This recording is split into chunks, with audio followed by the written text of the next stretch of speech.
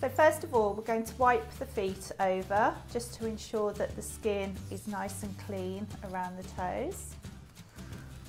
And then we're going to use some nail nippers. You can use nail scissors. And then what we're going to do is cut the nails in a straight line across, following the shape of the nail.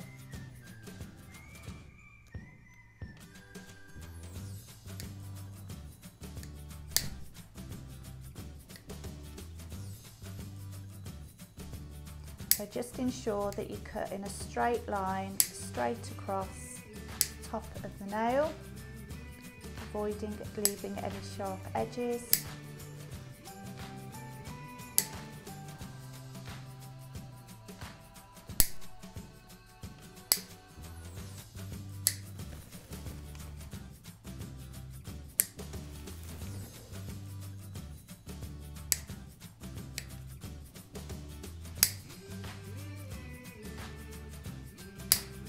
Once they've been cut, we can use a nail file. So these can be purchased from local pharmacists. And then we will gently file the nails across, pushing back along the top of the nails.